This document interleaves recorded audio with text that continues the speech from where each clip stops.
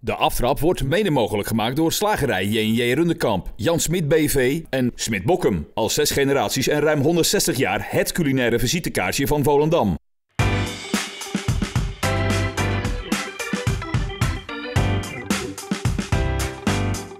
Jongens, wat doen jullie in godsnaam? Hallo en welkom bij weer een nieuwe aflevering van de Aftrap. Vandaag hebben we weer twee fantastische gasten, net als altijd eigenlijk. Aan mijn rechterhand eh, Frank de Boer en Jack van Gelder. Ja, dat zijn toch niet de minste. En eh, ja, dat allemaal voor een, eh, voor een pondje paling. Ze waren vrijdagavond, vrijdagavond waren ze te gast bij Humberto Tan. En ja, prachtig voorprogramma toch, jongens? Ja, dat was een mooi warm-upje. Ja, maar ik ga dat toch even beregelen met, uh, ja, met we Tan. moesten even van elkaar wennen. Ik zeg, laten we een klein podiumpje zoeken. En uh, dat hebben we bij Humberto gedaan. Ja, Ja, nou ja. De lokale omroep nog even, Volendam. Leuk. na afloop. Hebben we dat. En eh, tegenover me zit eh, Nick Tol. Nou, voor deze keer mijn sidekick. En de volgende keer is, eh, doet Nick weer de presentatie. Nick, jij bent eh, op de winterspelen geweest Ja, klopt. in eh, Pyeongchang, in Zuid-Korea. En eh, wat waren jouw ervaringen eigenlijk? Nou ja, dat is een onvergetelijke ervaring. Weet je, ja, je leeft eh, twee jaar eh, met die sporters toen, na, dat, eh, na die ene maand.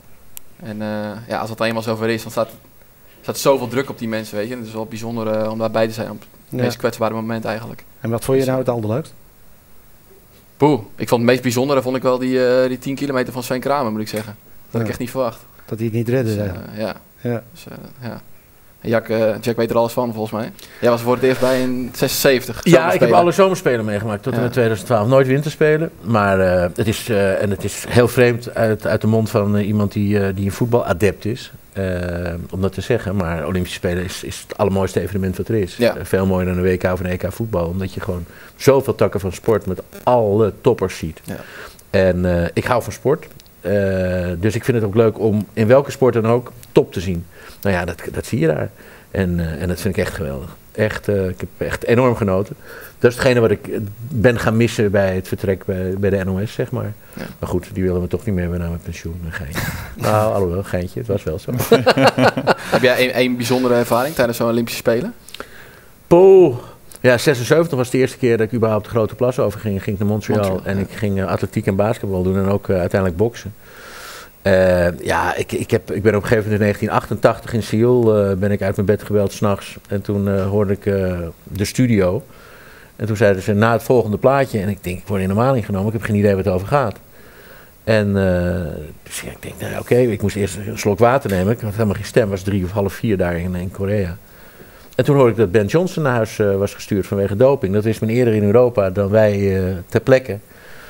Eh, ja, dat, dat was wel heel gek. Dat, dat, dat blijf je altijd bijstaan. Op het vliegveld ook nog eh, het weggaan van Johnson gezien. En een aantal jaren later dat Carl Lewis eh, riep van ja, althans bleek dat hij ook gebruikt had. Ja. Maar je hebt natuurlijk zoveel mooie momenten meegemaakt. Gideon Tuur, eh, met boksen, Elle van Lange in 92. Ja, nou ja, gewoon te veel om op te noemen. Maar geweldig om mee te maken. En het mooiste vond ik altijd een halve dag tijdens de Spelen in het Olympisch dorp te mogen rondhangen. En dan ging ik ergens zitten. En dan zag ik die sporters langskomen. En dan was het eigenlijk ook het spel van... dat moet een turnster zijn en dat moet een basketballer zijn. Maar alles door elkaar. En dat is geweldig. De melting pot van mensen. Ja, vond ik Ja. geweldig. geweldig. Frank, Jack, wat doe jij tegenwoordig? ik eh, ben lekker eh, of thuis af en toe, maar ook lekker eh, aan het sporten vooral. En eh, bij mijn dochters kijken met handbal. En, eh, dus eh, je hoeft geen medelijden met me Nee. te hebben. dat heb ik ook niet. Maar... Nee.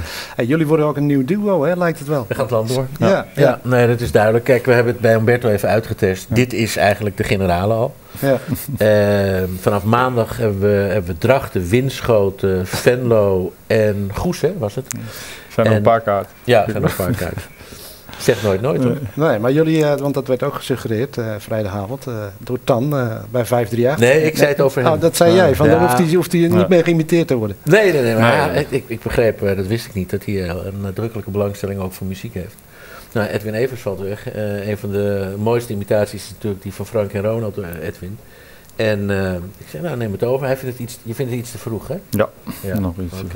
Frank, eh, hoe, hoe zie je jouw toekomst eigenlijk? Want eh, ik neem aan dat je volgend seizoen weer een club hebt. Nou, nou, wordt, Nou, nou, ik hoop het natuurlijk. Eh, de- wel de juiste club. Dat is wel belangrijk in deze fase, denk ik. Dat je, je goed afweegt eh, welke stap je gaat maken bij welke club eventueel. Dus eh, ja, ik hoop wel weer aan de slag te gaan. En, eh, zou dat Nederland kunnen zijn? Want je naam wordt nou, eh, in verband gebracht bij Heerenveen. Nou, dat eh, denk ik niet. Nee? Wat houdt dat voor jou in, Frank? Eh, de juiste club? Nou ja, dat je goed eh, eh, ja, je informatie eh, vooraf eh, ja, weet wat je te wachten staat. Natuurlijk is het altijd lastig, laat het duidelijk zijn. Ik ben nu twee keer ingestapt bijna op het, la al, of eigenlijk op het laatste moment. En terwijl je eh, op dat moment ja, eh, heb je nog niet genoeg eh, ja, informatie hoe de club eigenlijk daadwerkelijk is. En dat ondervind je eigenlijk tijdens eh, het werk eigenlijk. En, eh, je weet natuurlijk, als bijvoorbeeld Inter eh, Milan langskomt, ja, dat is nog steeds een wereldclub in de wereld. En als, nogmaals, als die langskomt en ja, je krijgt die kans, ja, dan, dan zeg je vaak, ja, dan stap je op die, eh, op die trein natuurlijk. Of spring je op die trein. Maar misschien had ik eh, over Crystal Palace ja, eh, meer informatie moeten vergaren. En eh, weten hoe de, hoe de lijntjes zijn en hoe, hoe de voorzitter is. hoe wispelturig het kan zijn. En, ja, want je weet, hè, als je twee keer snel ontslagen wordt, ja, dat is, natuurlijk niet goed voor je cv, zeg maar. En wat doet dat zelf met je, Frank, eigenlijk?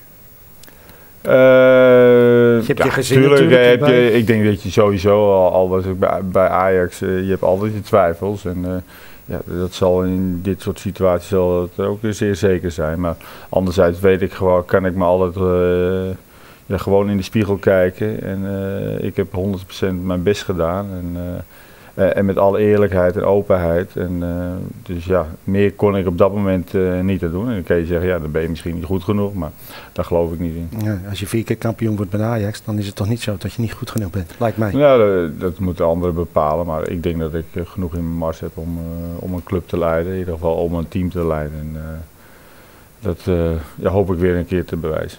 Speelt er wel iets op dit moment of helemaal niks? Nee, op dit moment eh, helemaal niks. Nee, nee eh, kijk, tuurlijk, ik ben wel eh, best wel gevraagd eh, in het begin, ook, ook nu weer. Maar nog niet eh, waar ik denk, nou, daar sta ik te trappelen voor. Er, is dus, er zijn dus wel clubs die... die Ja, zeer zeker, eh 100%. Maar eh, het moet, nogmaals, het moet wel de juiste club zijn. Ja, ja. Maar nogmaals, er is geen, geef geen garanties, laat het duidelijk zijn. Nee, soms denk ik wel eens dat het zo mooi zou zijn als, eh, als een paar grote sponsors zouden opstaan. En, en, en mensen als Frank, zeg maar op twee, drie, vier plaatsen in Nederland, eh, voetbalscholen zouden laten op, eh, opzetten. Met hun know-how. En niet meer het gedoe hebben van eh, eh, ergens een club te moeten leiden en afhankelijk zijn van eh, de wel of niet gemiste strafschoppen of een wispelturige voorzitter. Maar dat als je een aantal van dat soort eh, grote mannen eh, met eh, goed kapitaal, dat ze, dat ze eh, behoorlijk kunnen verdienen. En dat je een bij wijze van spreken een verdienmodel hebt als het naar BVO's gaat en verder. Dus daar kan je een- iets op bouwen. Dat dat zo mooi zou zijn. En Ja. daar lijkt hij mij zo verschrikkelijk geschikt voor. Maar, maar kan dat, Frank? Dat, dat, dat, dat- dat- is het aannemelijk dat jij misschien geen club pakt? Dat je het wat Het anders kan gaat Nou, doen? nou, ik kom zo, we hebben het er Nou niet ja, over gehad, hè? Ja. Dat kan, dat kan zomaar, laat het duidelijk zijn. Ja. En, eh, nogmaals, dan hoef je geen eh, medelijden met me te hebben, hoor, want eh, er is nog eh, genoeg te doen. Eh, ik heb vanaf mijn 14 ben ik in één ruk doorgegaan. heb nooit echt tijd voor mezelf eh, genomen en ook niet voor mijn eh, familie eh, en vrienden.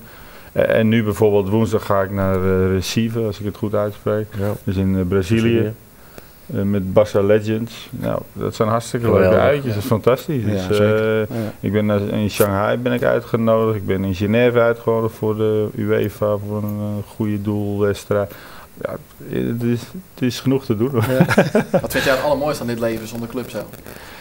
Nou, in eerste instantie eh, de, dat je niet zoveel negativiteit hebt. En dat bedoel ik mij, en vooral in het begin, eh, en dat, heb je altijd bij, eh, bij elke club natuurlijk, bij, en misschien waarschijnlijk ook in een bedrijf. Je, je gaat beginnen en je hebt altijd eh, positief, maar je hebt, in het begin moet je altijd die negatieve dingen, die moet je aanpakken. Of het nou spelers zijn of eh, stafleden of allemaal.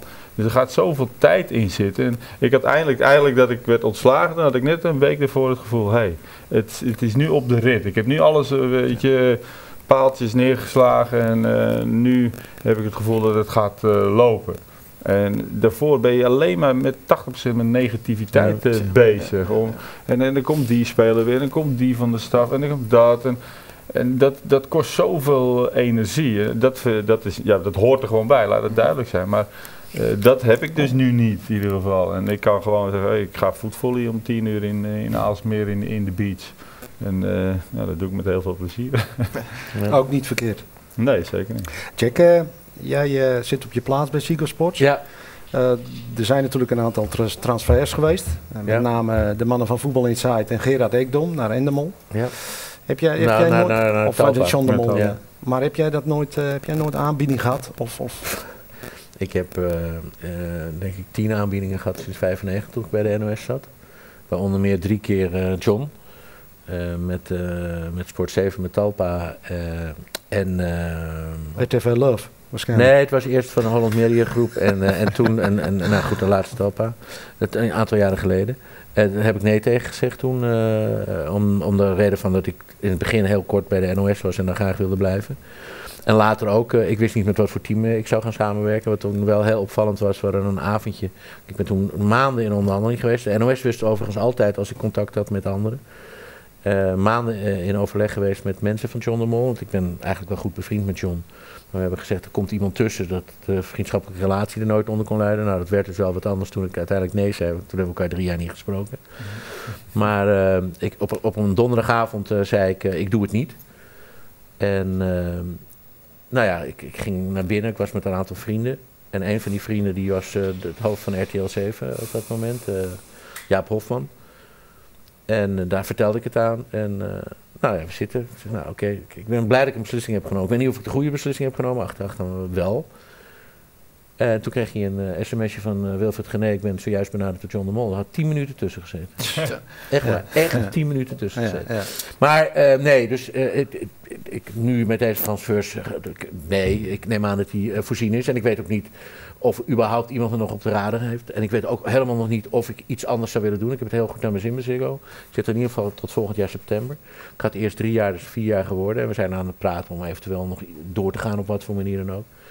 Maar ik, eh, ik heb het uitstekend naar mijn zin. Echt Maar, maar zie, zie jij een verandering in de tv-wereld? Ja, er gaat natuurlijk wel het een en ander veranderen. Het, het, het, gaat wel schuiven. Wat gaat RTL doen? Wat gaat RTL eh, met RTL 7 doen? Blijft dat eh, bestaan? Blijft het wel of geen mannenzender? Gaan ze daar wel of niet iets met sport doen?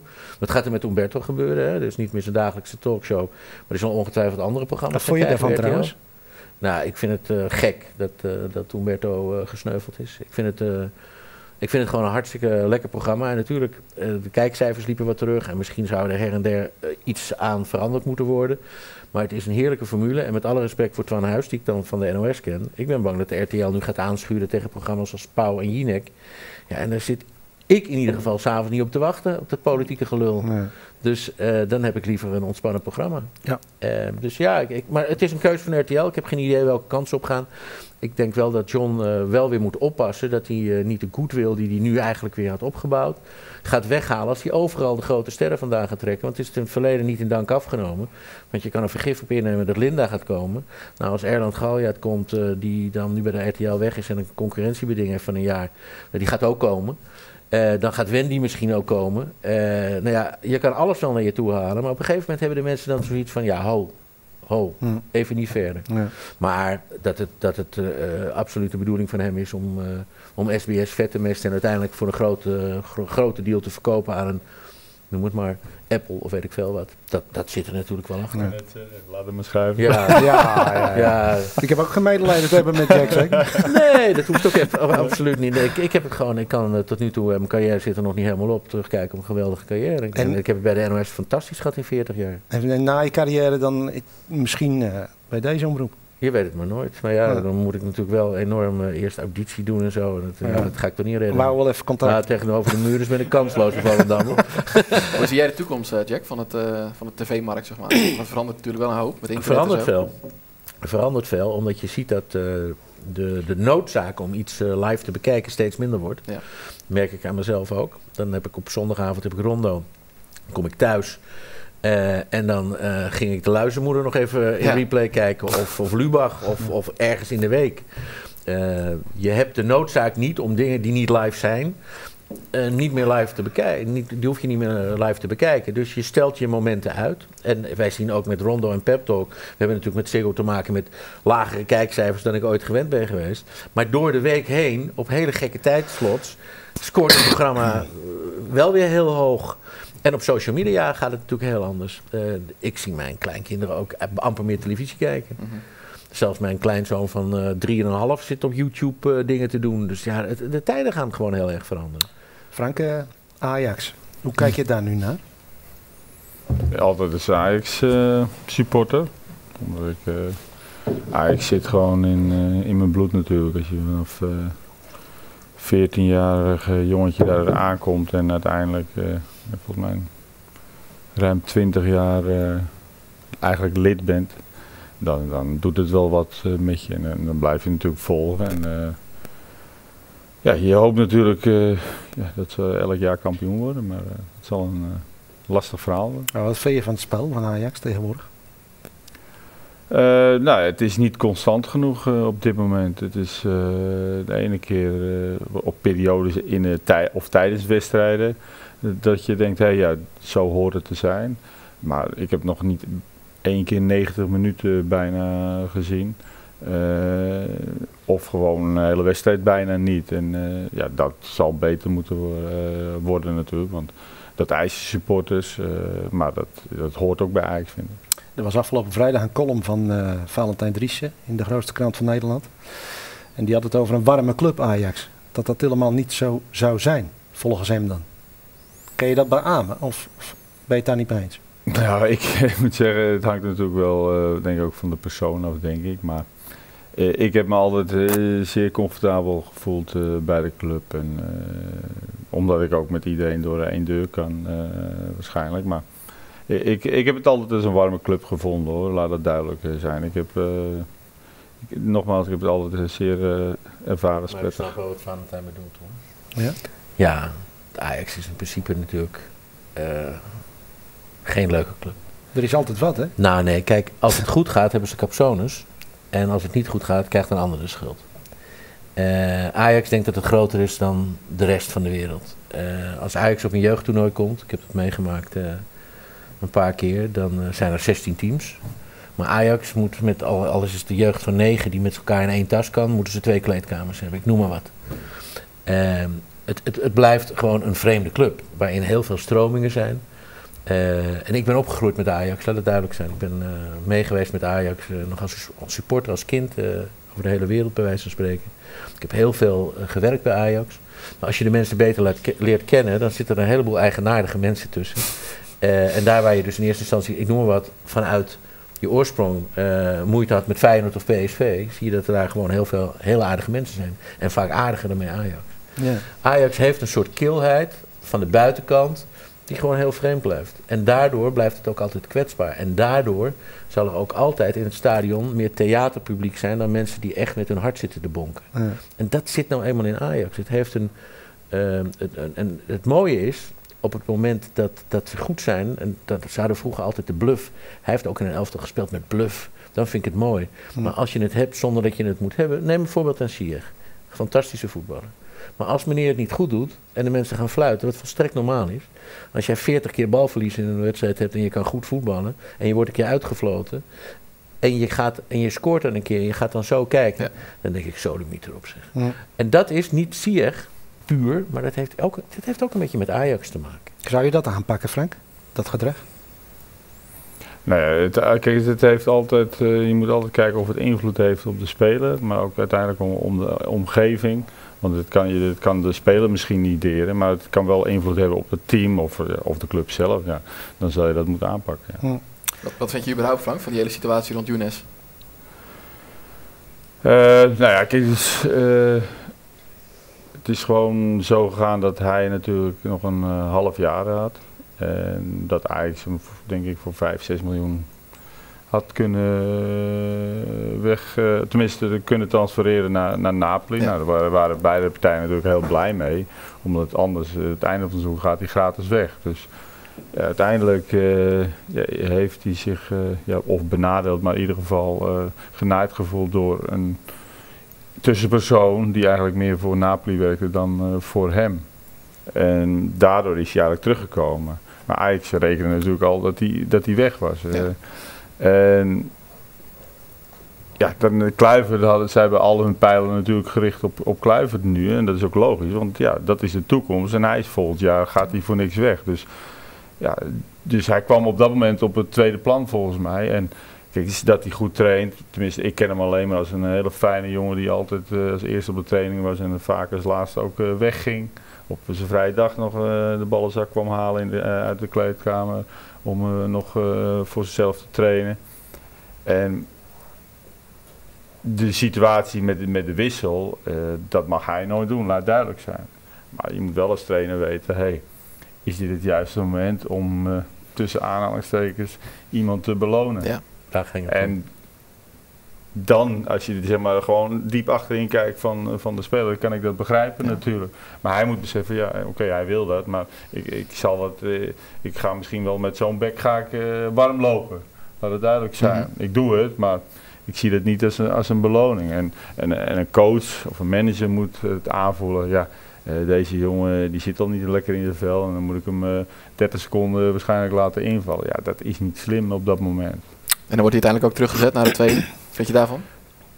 Eh, nou ja, hij moet natuurlijk wel een statement eh, maken, een, een coach. En eh, dat heeft hij zelf, hij heeft het zelf natuurlijk gecreëerd. Maar je moet het wel doen, in ieder geval. Je moet wel een statement maken tegen een speler. Want anders geef je een vrijbrief eh, voor iedereen die Ja. dat eh, kan doen. Ja, dan eh, verlies je de macht over, over het team. En ja, dan is het over en uit natuurlijk als Ja, coach je moet ook nog aan het scenario denken dat er op een gegeven moment, het zal niet gebeuren, Neres of Kluivert geblesseerd raakt, Ja. nog in, eh, in de laatste week of wat dan ook. En dat je opeens bij Younes moet gaan aankloppen. van, ja, we hebben je toch eigenlijk nog wel een beetje nodig. Dat is Nee, voor maar een coach dat is, dat natuurlijk is het. eh, killing. Dat is Ja. killing, nou 100%. Goh. Dat is zeker killing. Ja. En ze hadden natuurlijk gehoopt dat die Johnson, eh, weet die Johnson? Ja. Maar die zie je af en toe wel, maar die is nog ja, te wispelturig Ja. volgens mij. En, ja, in deze strijd op dit moment met jonge jongens, nou, ik, heb, ik had eh, graag een Younes erachter eh, Natuurlijk, ja. gewild. Natuurlijk. Zie je het niet zo gedaan. Achterhand. Ja. Wat? Jij had het niet zo gedaan dus. Nee, maar kijk, eh, geloof me nou, dit zijn eh, leermomenten voor elke manager. Ja, is zelfs een leermoment voor mij natuurlijk. Misschien had ik dat onbewust ook niet gedaan. Maar je weet hè. ook natuurlijk niet exact wat er Nee, maar in ieder geval.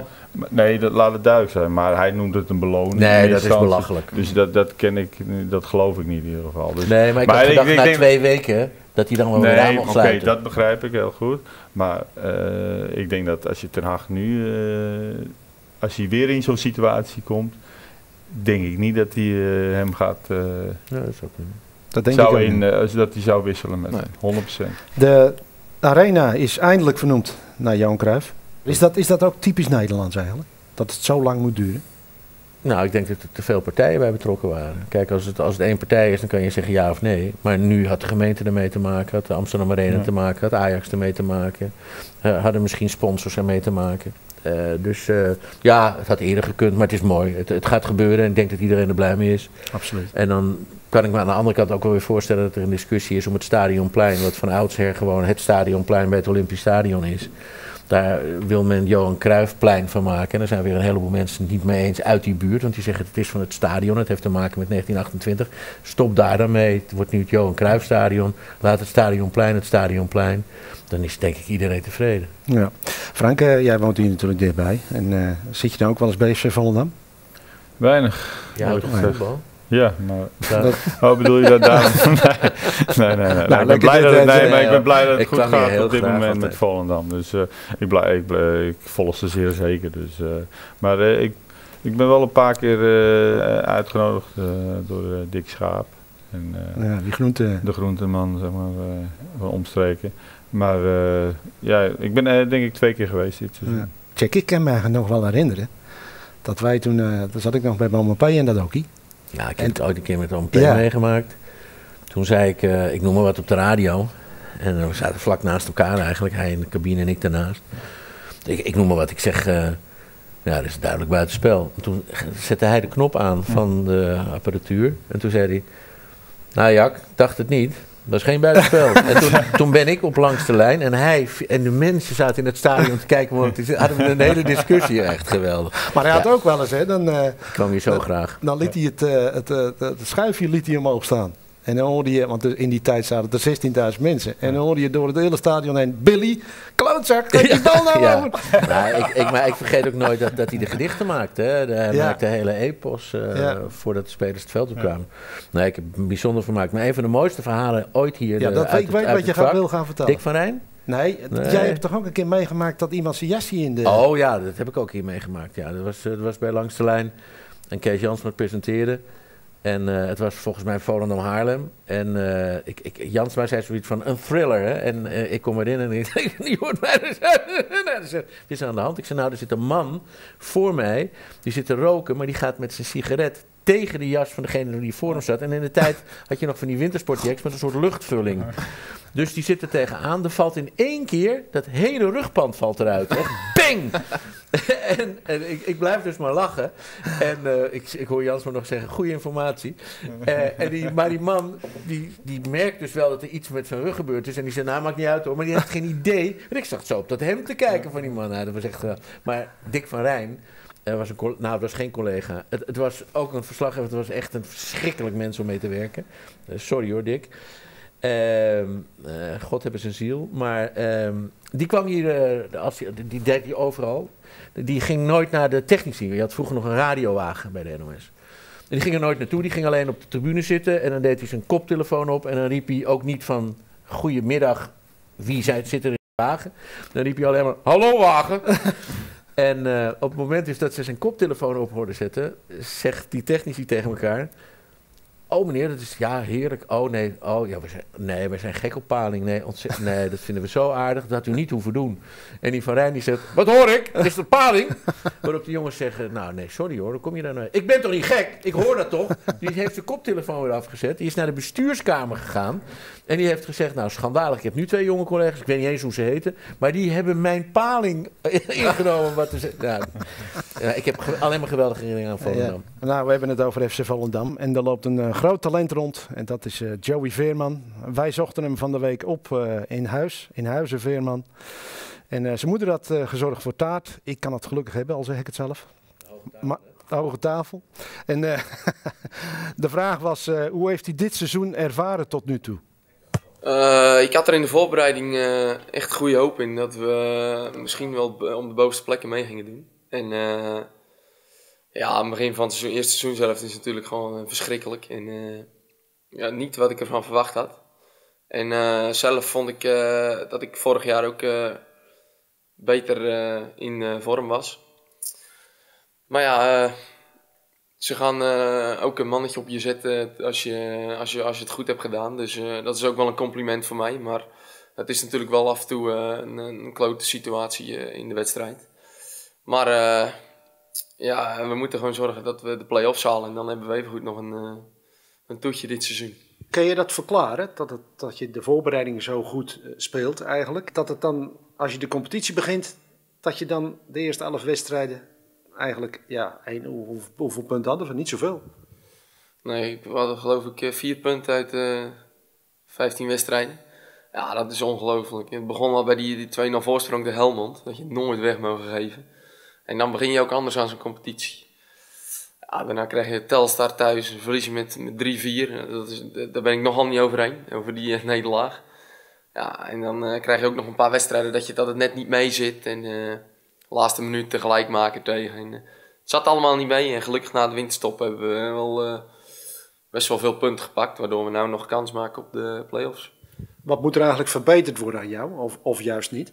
Nou ja, sowieso de, de, de teleurstelling na een foute paas of na een eh, foute paas van, een, van iemand anders, of als ik de bal zelf niet krijg, dat ik dan niet eh, met mijn kop ga hangen of dat soort dingen. Of als we een tegen goal krijgen. En eh, ik mag wel een tikkeltje sneller nog worden, zonder bal. Jij hebt ook vaak dat je de bal wil geven. En dat doe je ook fantastisch natuurlijk. Maar vind je niet dat je dat, je dat te vaak doet? Ik, ik heb ook wel eens de indruk van speel hem breed. Hij hoeft niet altijd diep. Nee, daar heb je wel gelijk in. Alleen ik denk ook, als je er drie geeft en er komt er één goed, die je leeg voor de keeper zet, dan heb je meer aan dan dat je er drie breed geeft. Dus ik denk dan, ja, ja die twee ballen, oké, die gaan fout. Maar ja, die derde gaat dan goed. Dus ja, zo denk ik een beetje. In plaats van, eh, ik, ja, simpel spelen. Dat, dat, ik snap dat sommige mensen dat graag willen, maar dat zit niet echt in mijn spel. Hoe gaat Volendam, uh, gaat Volendam het redden, play-offs? Ja, ik denk dat Volendam wel de play-offs gaat halen, ja. Zeker weten. En waar baseer je dat op? Op uh, dat we toch wel genoeg goals maken. En we moeten het beter dicht houden achterin. Maar ik denk toch wel dat we genoeg goals maken om wedstrijden te kunnen winnen. Hoe zie je jouw eigen toekomst? Ik hoop een eredivisieclub. En daarna me verder te ontwikkelen om misschien in de top van Nederland of misschien wel in het buitenland te mogen voetballen.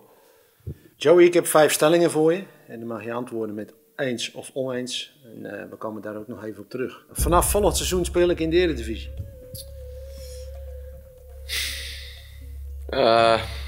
eens. Er wordt vaak te snel geoordeeld door mensen die het naadje van de kous niet kennen. Oneens. Ik moet op sportief vlak meer in mezelf investeren. Dat is lastig. Uh, ik ben erbij bezig, maar ik zeg eens. Voor FC Volendam is het een goede zaak dat Misha Sal heeft bijgetekend. Eens. FC Volendam verdient meer steun van het publiek dan tot het tot nu toe heeft gehad. Eens. Dan kom ik er even op terug. Vanaf volgend seizoen speel ik in de Eredivisie. Daar antwoord je op eens. Leg uit. Nou ja, ik denk dat ik vorig seizoen toch wel heb laten zien dat ik uh, het niveau aan kan. En uh, we hebben dit seizoen tegen PSV gespeeld en in de voorbereiding tegen Herenveen. En, uh, en ik weet in de voorbereiding en misschien tegen PSV ook dat die misschien wat onderschatten. Maar ja, ik denk toch dat ik mezelf heb laten zien in die wedstrijden. En, tegen Sparta vorig jaar niet te vergeten in de beker. En ja, ik zie spelers lopen in de Eredivisie waarvan ik denk, nou ja, ik denk niet dat ik veel slechter ben dan hun.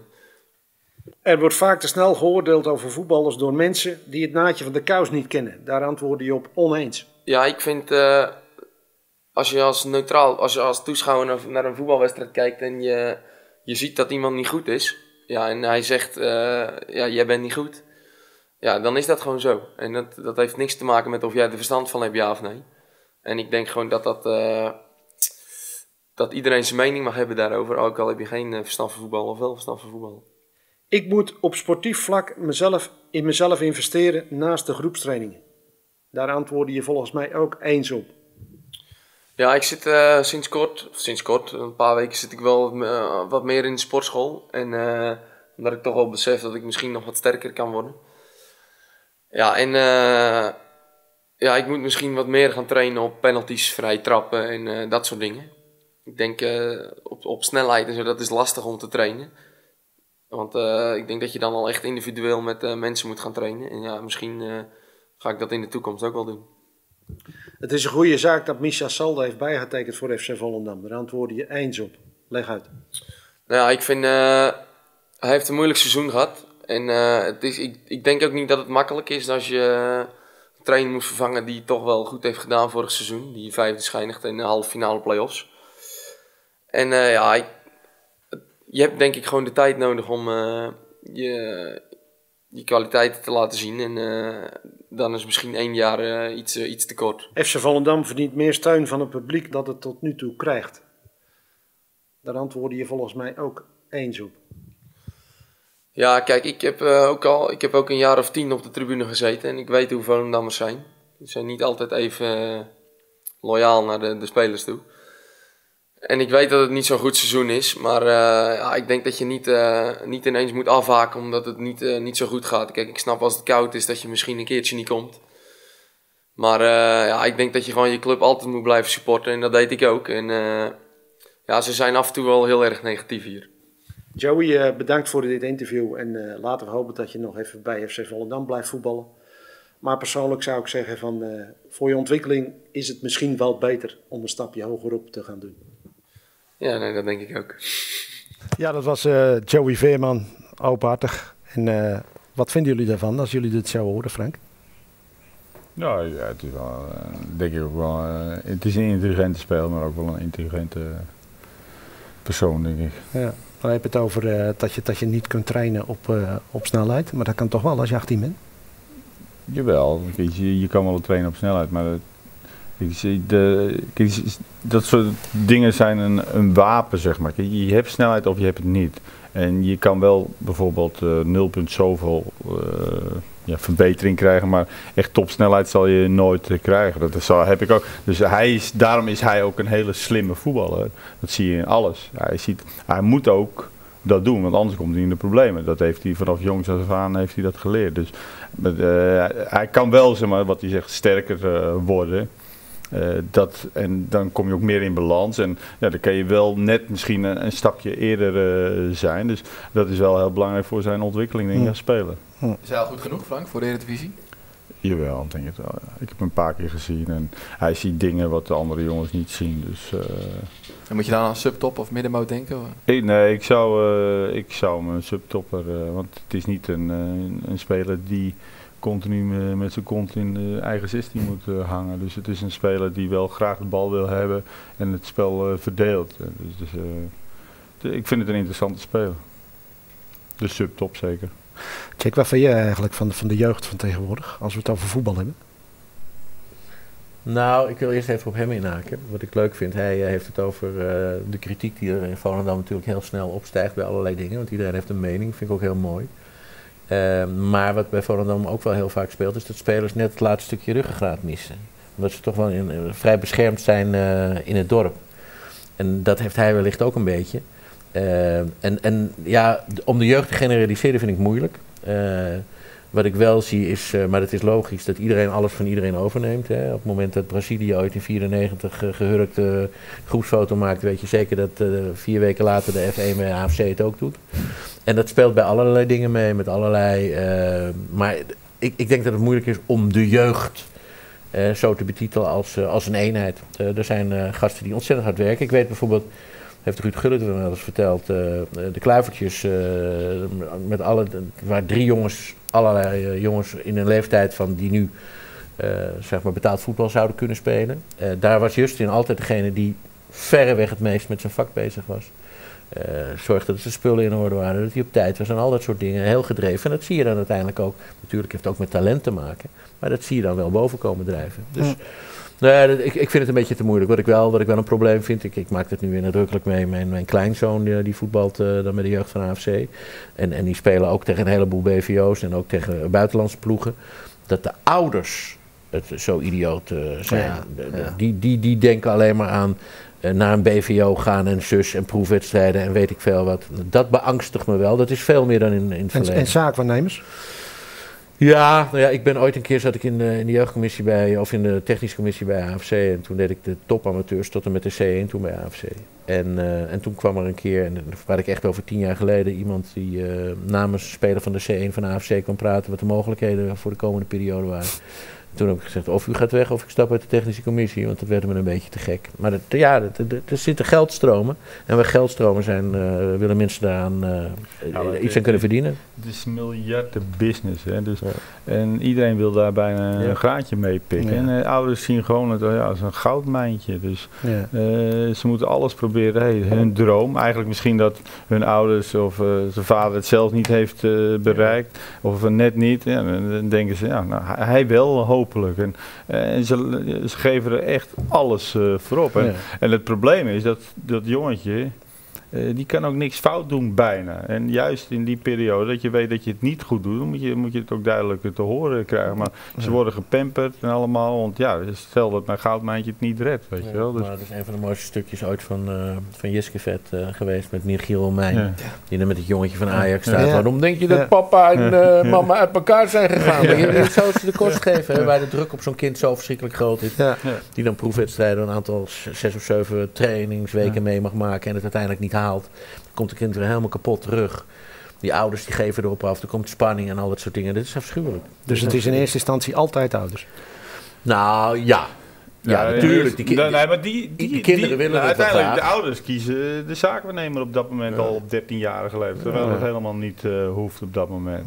En, maar de zaakwaarnemer, ja, die, die, die spinnen de garen mee natuurlijk. Want die willen zo, snel, zo snel mogelijk iemand inlijven. Met de hoop, ja, wie weet wordt het een... Als je de 50 uh, pakt, zit er alleen bij. Ja, en, maar En eh, dat, dat eh, vind ik zeer irritant. Dat gewoon spelers op 16-jarige leeftijd dus al naar het buitenland eh, verkassen. Ja. Terwijl ze nog niet één bijna ja, een paar knappe wedstrijden in de, in de C'tjes en in de B'tjes hebben gespeeld op dat moment. Of nu onder 16, onder Ja, er zijn 17. natuurlijk ook uitzonderingen. We hebben ooit een keer het, eh, het eh, ja, Oranje onder, wat was het, 19 of 20 gehad met Maceo Richter. Die echt eh, niet zo waanzinnig goed kon voetballen. En dat een fantastisch toernooi.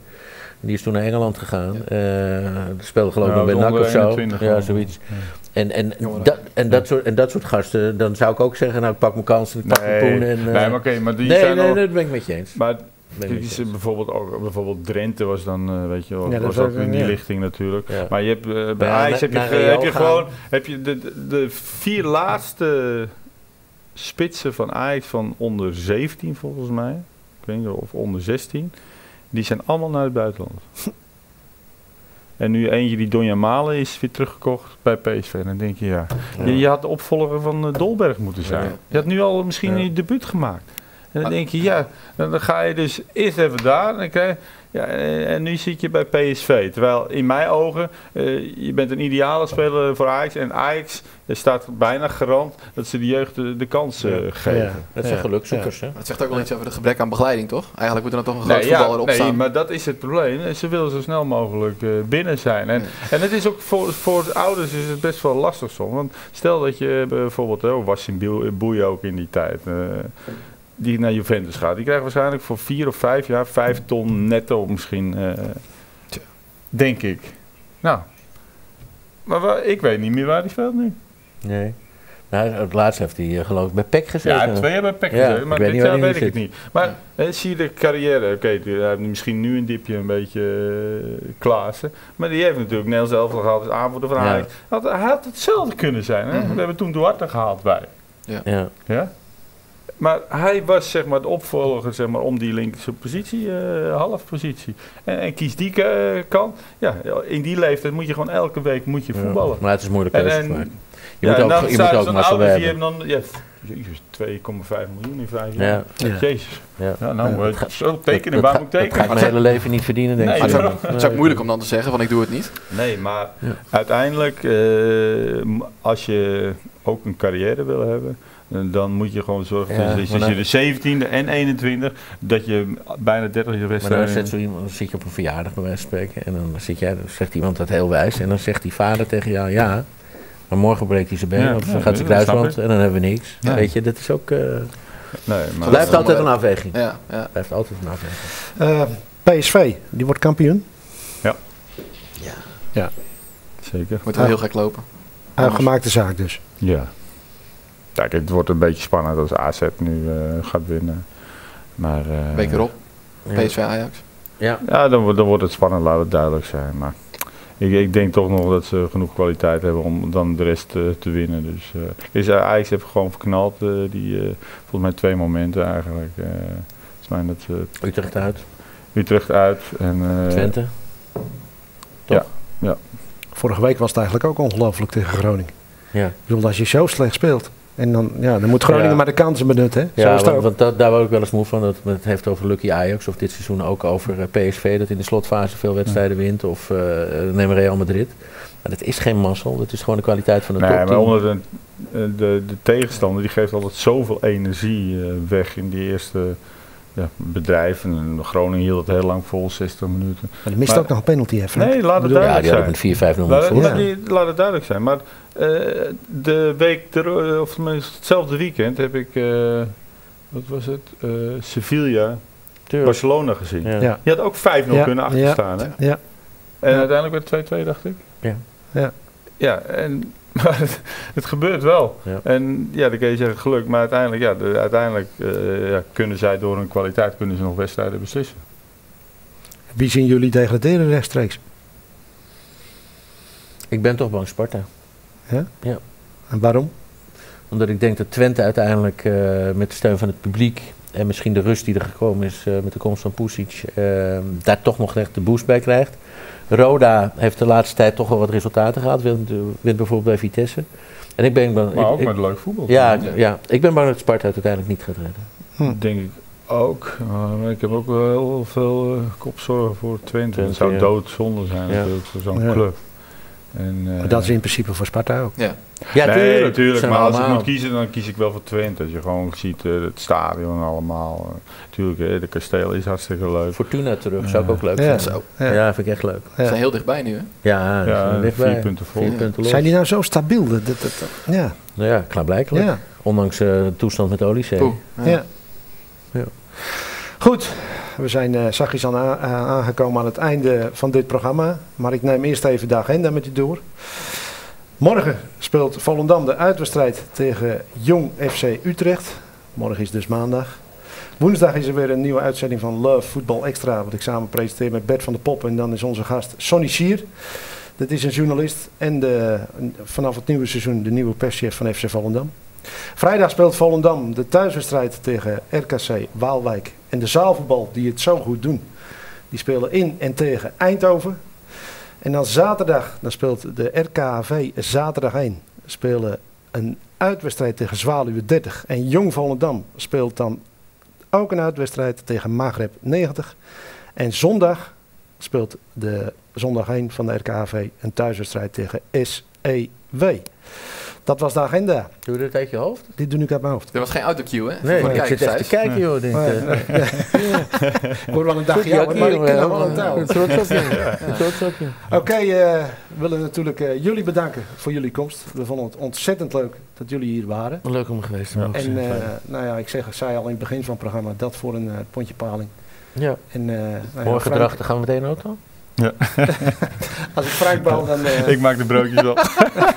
Ja, we hebben het er nog niet ik over gehad. de eerste palen. We hebben het er nog niet over gehad, maar Frank was natuurlijk betrokken bij een van jouw eh, meest bekende eh, momenten als, als commentator. Ja. WK 1998, Argentinië-Nederland. Ja, ja, nou ja, het mooie was dat ik zei, ik heb zo'n gevoel dat we in de halve finale gaat komen. En, en dus je poetst jezelf een beetje op. En dan eh, geeft hij zo'n ongelofelijke bal. Ja. Ik, overigens nog één ding wat misschien wel aardig is om te vertellen. We zijn toch bijna over de tijd heen.